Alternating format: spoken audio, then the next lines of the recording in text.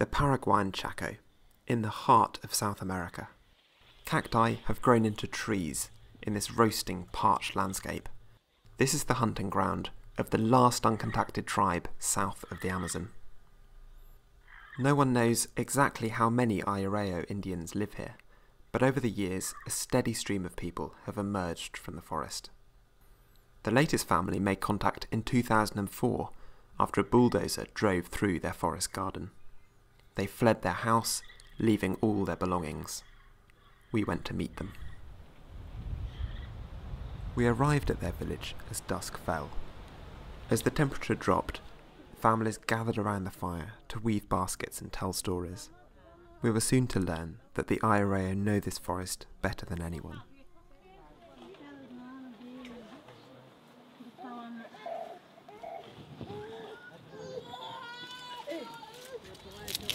We went into the forest to find the bromeliad plants they make baskets from. As hunger set in, they set off to find edible palm heart. The spiny palm fronds burn quickly, and the delicious palm hearts are ready to eat. The Ayoreo easily find their way through forest, where an outsider would be lost in minutes. They can tell which trees are laden with wild honey, and which bees have no sting.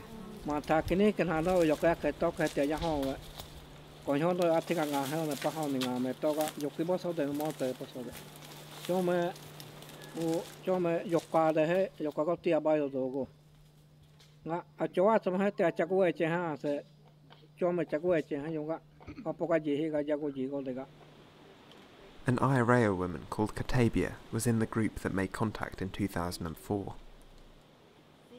She took us to see a house her family had built while they lived in the forest. Huge logs support the domed clay roof, which keeps the roasting midday sun at bay. Sitting in the cooler air inside, she told us of life before contact.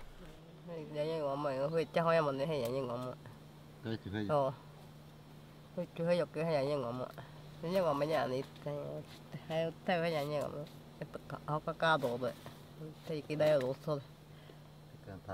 Oh, tai, ya llegó mi nani. Baka chaga tai hoti. Nanti kita tu jago utaja khai to. Nganya ngomi.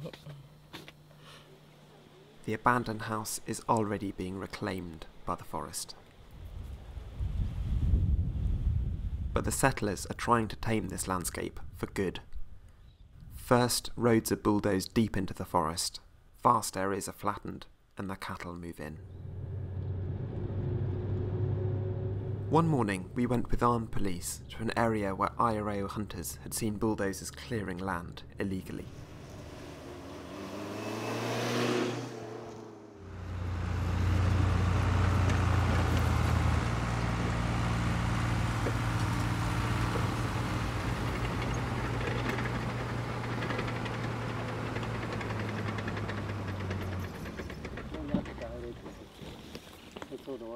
This is the front line in the battle for the Indians' territory.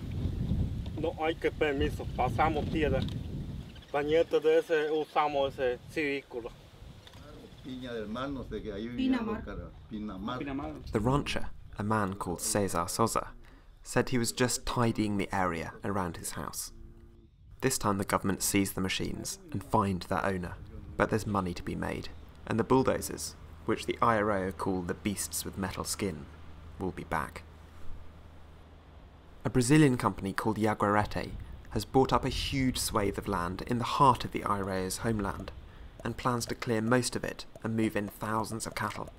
They even plan to set aside a parcel of the Indians' land as a private nature reserve.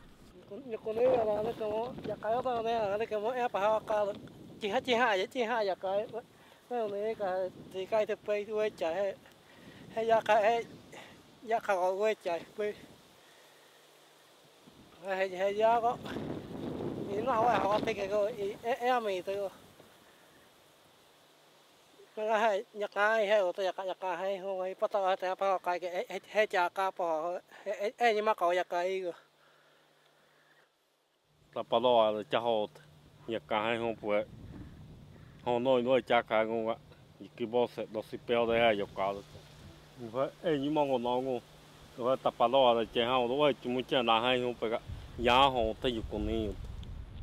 If the Ayoreo are to have the chance to choose their own future, they must have enough land to support their way of life. But in the meantime, the roar of the bulldozers grows ever louder.